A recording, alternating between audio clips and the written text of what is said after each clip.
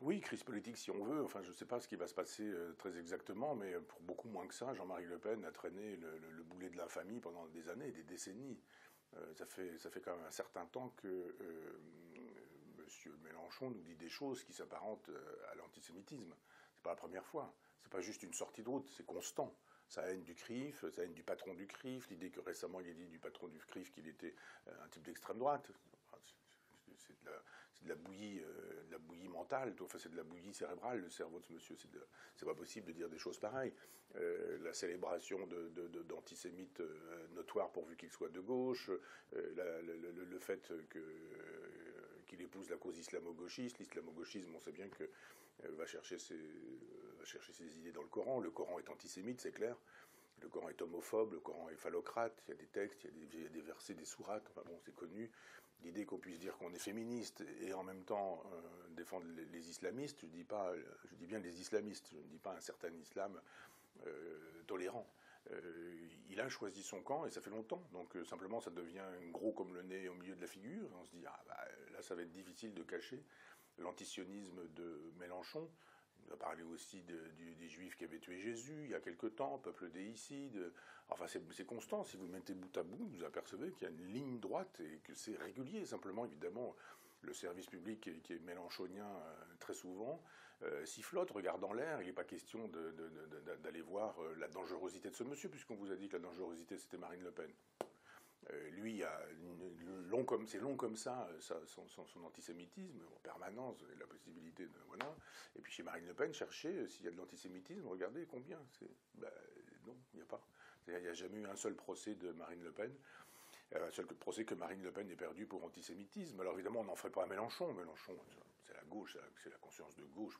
Il est tellement cultivé, il est tellement, il est tellement recteur, il parle tellement bien, ce qui est d'ailleurs une fiction. Bah, c'est vrai, c'est faux. Quand on a l'occasion de creuser un peu la culture de, de Mélenchon, c'est vraiment quand on gratouille la vieille culture du trotskiste, et c'est pas une culture vraiment très profonde.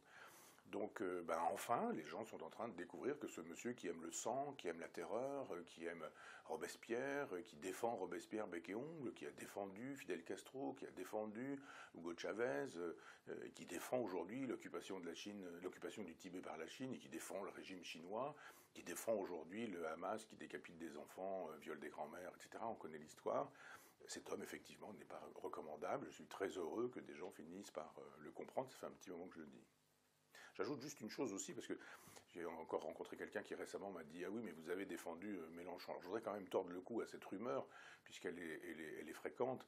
Je rappelle que c'est dans une émission de Ruquier, c'est l'époque où Ruquier m'invitait. Euh, il m'avait dit à la fin d'une émission, et alors les présidentielles, c'était des présidentielles où Mélenchon n'était pas candidat, pas encore candidat. Et donc euh, il m'avait dit Mais vous allez voter pour qui? Je ne sais pas. Je ne suis pas du genre à dire je ne sais pas si je sais. Je lui aurais dit, je vais voter pour machin si j'avais euh, eu envie de voter pour machin ou pour bidule ou pour un tel. J'avais dit, je ne sais pas.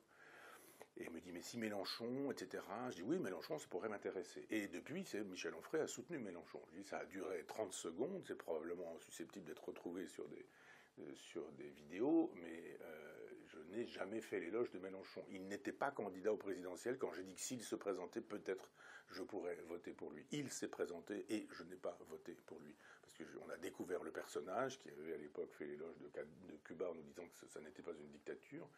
Donc je n'ai jamais voté pour lui, je n'ai jamais appelé à voter pour lui, je ne l'ai jamais défendu publiquement, en dehors de ce bref moment d'une réponse à la volée à une question de Ruquier qui, euh, me disait pour qui euh, voteriez-vous Et je ne savais pas quoi voter, parce qu'à l'époque tout le monde n'était pas encore parti.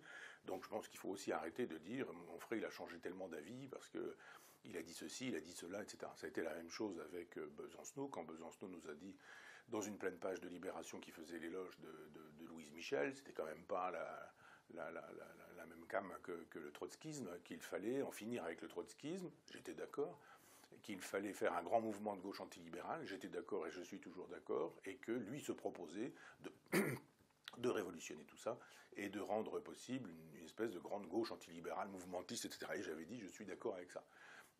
simplement, c'est lui qui n'était pas d'accord avec ça, parce qu'il n'a jamais fait ça. Mais Besancenot, il l'a annoncé, mais il ne l'a pas fait. Il a ramené des gens à lui, et, il a perdu d'autres personnes, les mêmes personnes qui se sont dit, non, on s'est fait avoir. Il a simplement repeint la vitrine, mais c'était toujours, euh, c'était toujours trotskiste, et il y avait toujours derrière lui Ben Saïd et, et Krivine. Donc euh, voilà, juste pour expliquer que euh, je n'ai pas tant changé que ça, c'est dans des moments très précis où j'ai dit que tel ou tel m'intéressait, c'était toujours parce que j'étais sur des positions de gauche antilibérales et je suis resté un homme de gauche antilibéral. C'est pourquoi je ne peux pas défendre Hollande euh, qui n'est pas de gauche et qui est libéral, et je ne peux pas non plus défendre un Mélenchon qui, lui, ne, roule que pour lui et serait d'extrême droite si ça lui permettait d'arriver au pouvoir et deviendrait ultra-libéral si ça lui permettrait, permettait aussi d'arriver au pouvoir. Ceci étant dit, parenthèse fermée.